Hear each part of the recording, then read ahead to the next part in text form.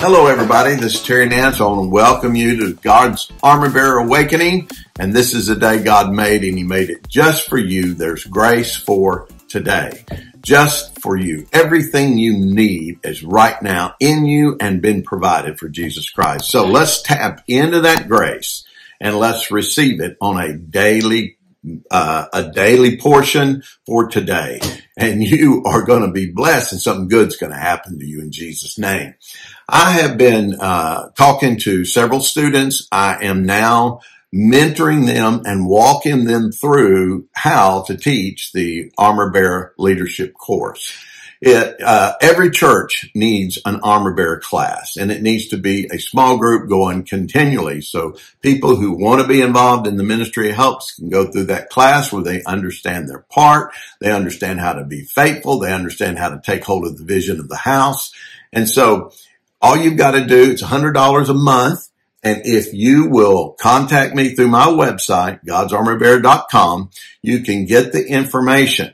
I would like for everybody watching this broadcast to send it to four or five pastors that you know. Say, hey, watch this. I want to help train. If you could give two or three out of your church and pay this monthly, we'll do a, it's a year program, 12 months. I will walk them through the teaching on the armor bearer and uh, they will be able to share it and teach it the, the way I teach it. And so I really pray this revelation is more real today and more relevant than it's ever been. I had a very uh, well-known pastor talked to me recently and said, you know, the teaching of the armor bearer, man, we need it today.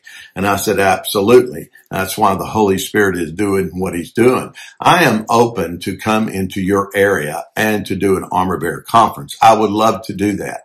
All you need to do is go to the website. You can contact me, uh, through my website. I'll be glad to get with you. We'll work out a date and we can come.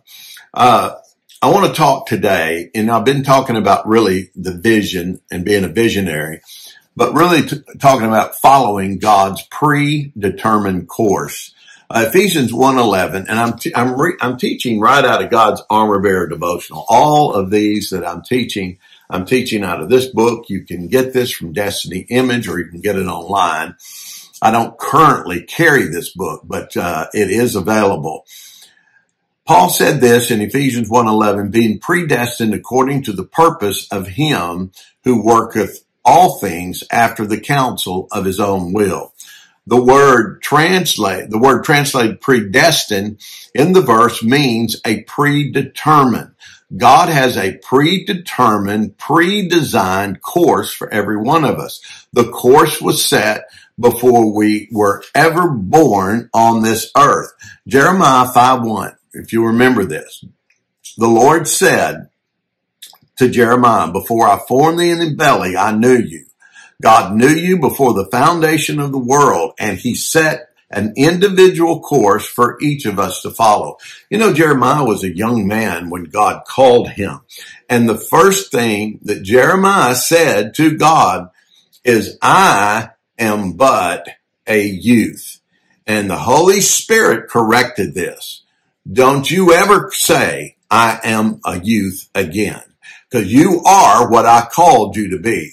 Now, why would the Lord basically rebuke Jeremiah in that? It is because he is not agreeing with what the Spirit of God says. And your unbelief can shut down the will and the purpose of God.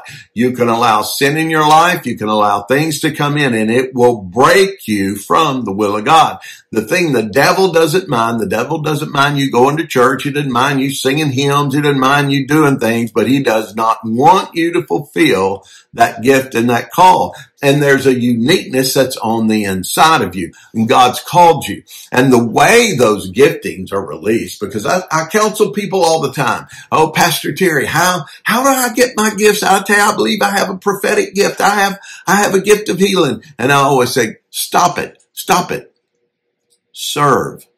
What you make happen for someone else, God makes happen for you. Your character is more important than your gift. You develop your character in Christ. You learn to serve, be submissive. Let God exalt you. You don't, there is no self promotion in the spirit. The Spirit doesn't tell you, okay, get up right now and, and, and, and just start doing this. No, many people have pushed ahead thinking, hey, you know, well, nobody's going to honk my horn. Bless God, I'm going to honk it. Well, let me tell you what, I'd rather God honk my horn than, than man honk my horn.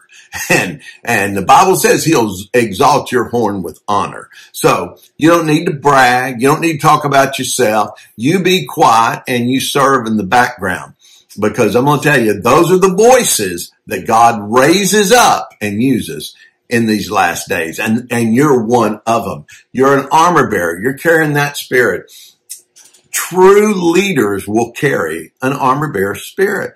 All the great leaders, go study their lives. They didn't start out front. No, they started with serving others. David served Saul. Joshua served Moses. Elisha served Elijah. I mean, we could go right on down the line. And the, the call of God on them was to serve those men and women. And so as they did that, the anointing was increased in their life and they went and did even greater things. Now, and it's very, very important that we understand that. You're valuable. You have a call. You are predestined to walk in that. So God's got a predestined plan. Well, can we walk away from that? Oh, of course we can. Look at Jonah. Jonah walked away. I'm not preaching to Nineveh. And when you really study the history, I don't blame him. I mean, gosh, the Ninevites were, were terrible what they did. Oh, the, to the Jews when they caught them. I mean, kill the un, kill the, the mother and the baby in the womb, just cut it right out. They were horrible. So Jonah said, I'm not preaching to them. I don't want any mercy. And then God says, let me tell you something, Jonah. When I choose to give mercy, that, that's not up to you. And so you either go do this or you, you're going in a whale's belly. And of course, you know the story. After three days, he repented. And, uh, you know, once the whale threw him up on the beach and the Ninevites were all there and he goes, repent. They were like, okay, it's time to repent. But here's the point. You've got a divine course and it's a lot more difficult to get out than you think it is. You're more than likely in the divine course. Humble yourself before God this week. Humble yourself today and say, Father, your will be done. I pray for everyone watching the broadcast. Father, your will be done in their lives. In the name of Jesus. God bless you.